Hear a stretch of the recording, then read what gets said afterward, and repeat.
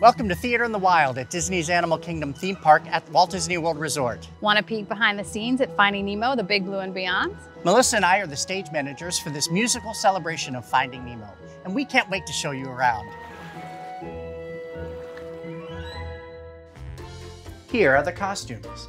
This is the Blunitard, as we call them, which is what every actor wears as a base.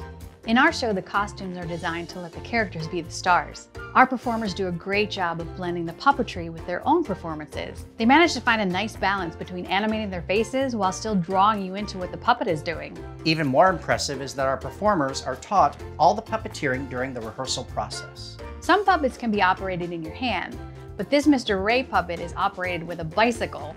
Of course, one of the most popular puppets in the show is Crush. This puppet takes five people to help bring him to life. Taking a closer look at a few of these puppets and costumes, you can actually see how much detail goes into each piece. Like the moss on these shark costumes, it really looks like they've come from the deep ocean. And even subtle details like this help create dimensions under the show lights. Speaking of lights, let's take a look at some of the technology we use in the show.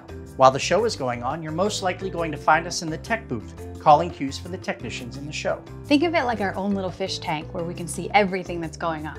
Let's just keep swimming to the stage where one of the coolest things to see is our video wall. This wall is 59 feet across and 23 feet high, and it contains 504 LED panels. This technology, plus the set pieces, projections, and the lighting, transports you into the world of Nemo and his friends.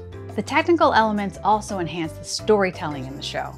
One of my favorite moments in the show is Marlin's emotional goodbye to Nemo. The music slowly peels back from a full company grand finale moment to a soft piano underscore while the lights come down, revealing Nemo and Marlin in spotlight. All these technical and staging cues come together and it's so powerful and gives me chills every single time. And you can just feel that same thing is happening with the audience too. In the show altogether, you will see over 300 lighting cues utilizing 528 lighting instruments and 89 moving lights. In addition, we have 10 projectors, 14 bubble machines, and 3 hazers. On stage, there are 14 performers, and backstage, there are 12 technicians, 4 costumers, and 1 stage manager. Every part of the show works together seamlessly to immerse our audiences in the joy of Disney and Pixar's Finding Nemo. Together, we create an experience that even Dory would have trouble forgetting.